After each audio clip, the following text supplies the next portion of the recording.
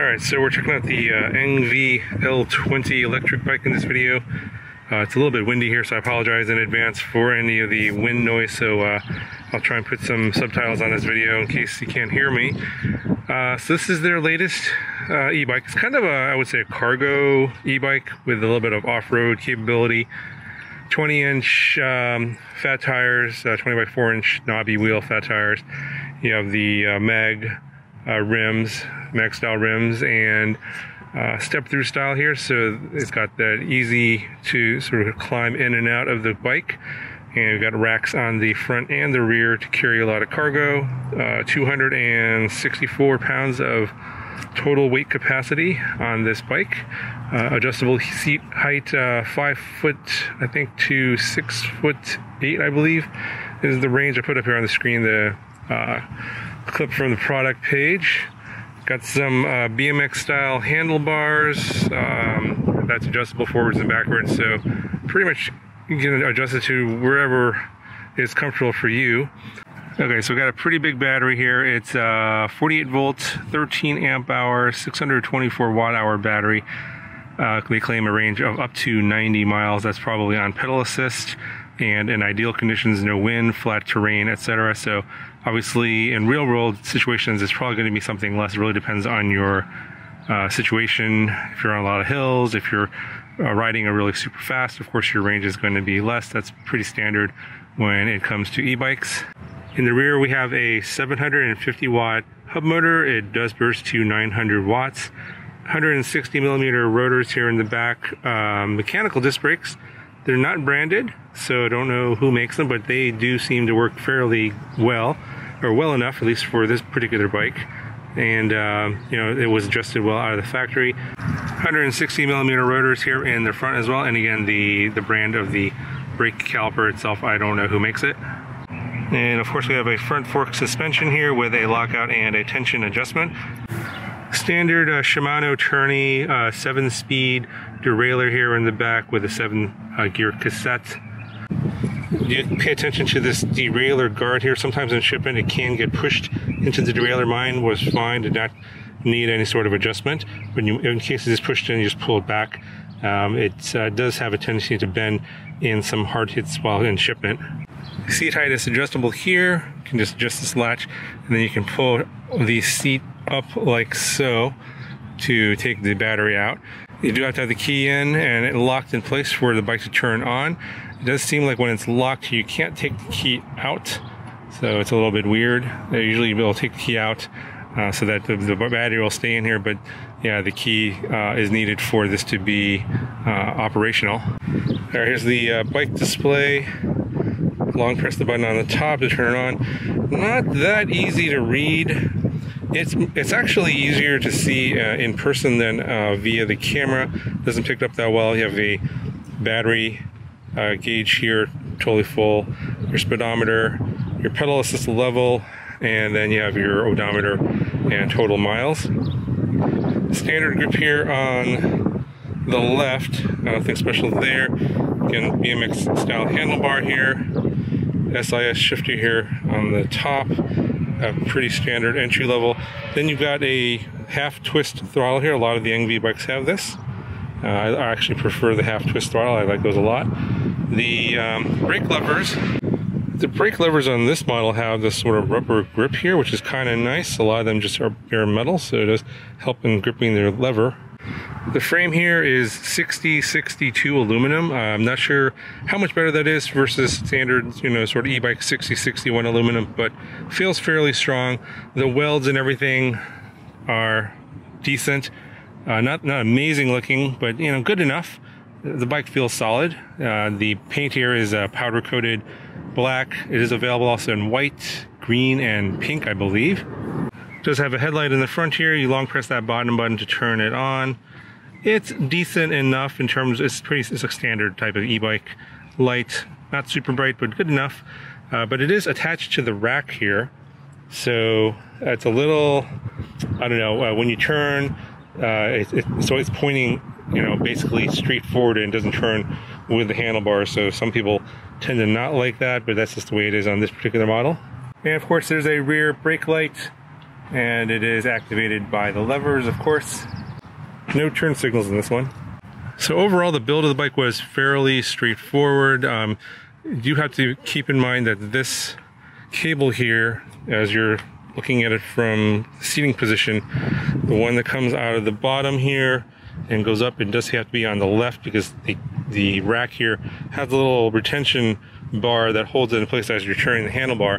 Um, if you put it on the other side, it won't actually work because it'll it looks i mean you can, you can, pretty much tell here that it's going to be too short if it's uh, wrapped around the other side. So that's a mistake i made. Uh, you have to make sure it's coming off of this side here and of course it matches the rack. So you got to put the handlebar on. These four bolts here fairly straightforward. Uh, at that point i put the fender on. Yeah, I put the fender on. Then I attached the wheel. That's pretty standard.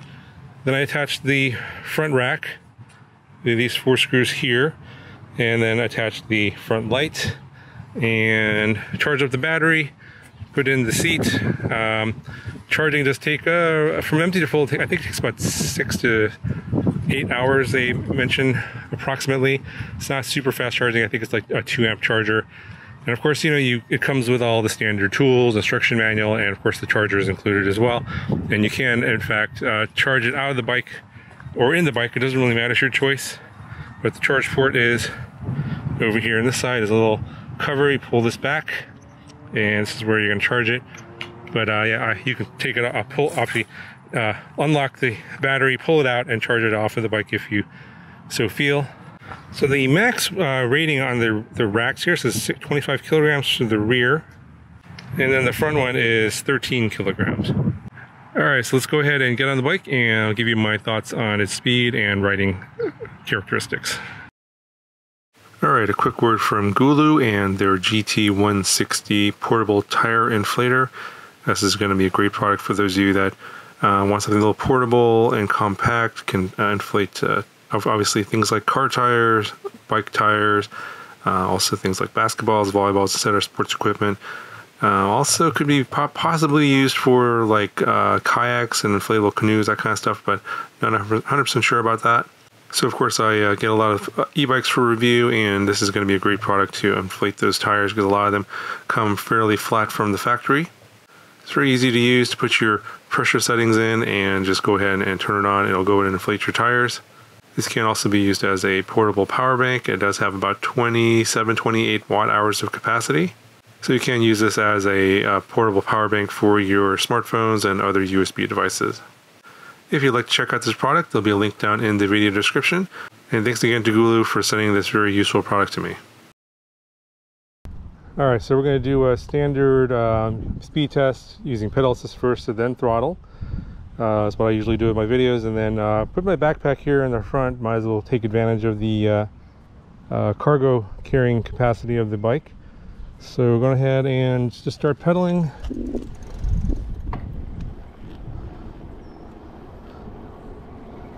And not much pedal assist in level one. Don't really even hear the motor at all. All right, let's go to uh, level two. All right so in level one we were, we were going like maybe five six miles an hour. Level two about nine miles an hour now. And I still don't hear the motor at all. It's very silent. Let's go to level three. All right now you can hear the motor.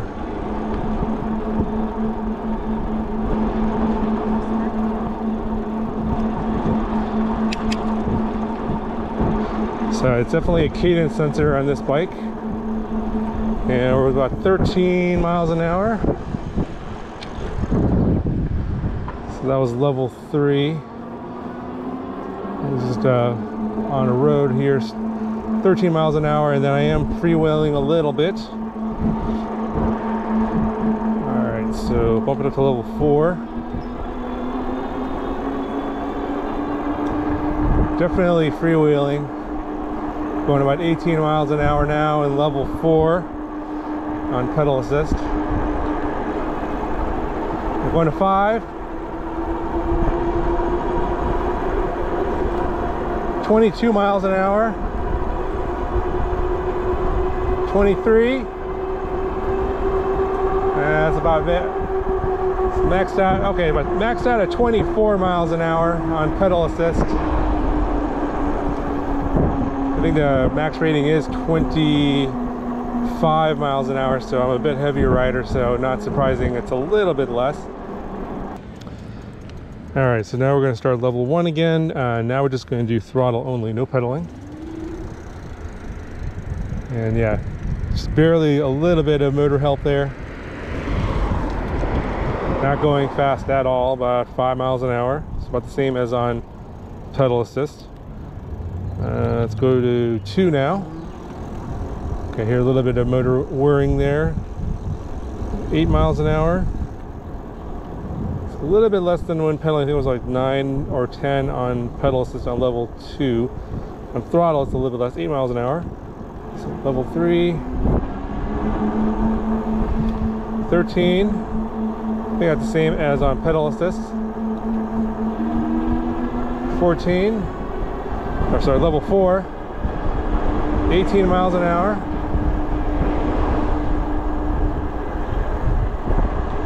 At level five. Throttle only. 22. 23 24 all right so it does build up speed very slowly and gradually but yeah I did get up to 24 again so I think the, the speed levels are pretty similar on throttle only uh, compared to pedal assist only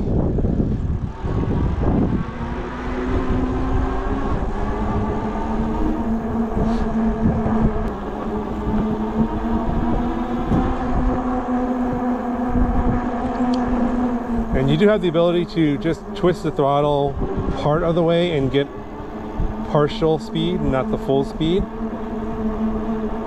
So I usually just go to like, I don't know, for me, I think uh, level three on full throttle is plenty fast enough. Yeah, I'm getting 13 miles an hour on the sidewalk here. So, okay, let's talk about the ride.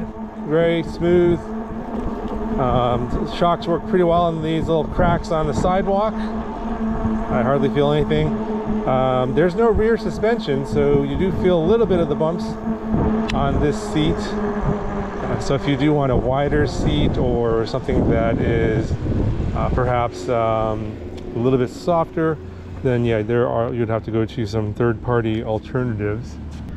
But I, I do like the fact that you can kind of sit back you know with these handlebars you can adjust the angle forward or backwards if you want to lean forward more more and you can adjust the height of the seat. This is pretty comfortable for me although i know some of you bike riders out there think that i need to be up a way higher but i prefer a lower center of gravity. Just i just feel more stable having a lower seat height.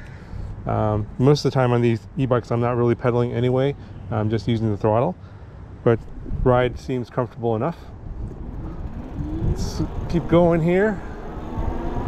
So these do have uh, 20 by 4 inch knobby fat tires, so you can go do a little bit off-roading here. We'll go into the grass here right now. And no problem. No problem going through grass, although not really my one of my, my favorite surfaces. Yes, yeah, so overall, uh, pretty decent e-bike. Um, I like the fact that it's sort of tuned for cargo carrying, so I can carry additional weight. Comes with the extra cargo racks. Very nice ride. Uh, a little bit wider base, I think, compared to most 20-inch fat tire e-bikes. Again, to carry the extra cargo, just feel more stable. Uh, overall, uh, pretty good quality e-bike. Uh, there'll be a link down in the video description to this. Also, there's going to be like some sort of Father's Day sale during the month of June. Link to some other bikes with some discounts as well will be down in the video description that'll cover for this video. Um, if you have any questions, let me know down in the comments below. Talk to you guys in the next one.